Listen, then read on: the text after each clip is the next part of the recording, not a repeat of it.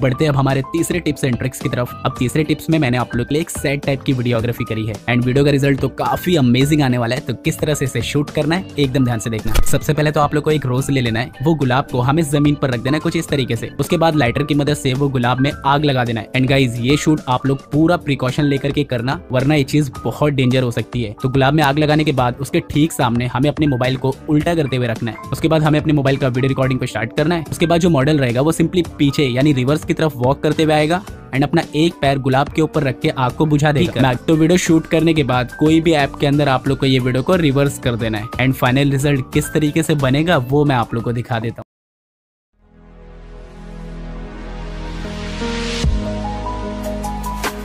Thank you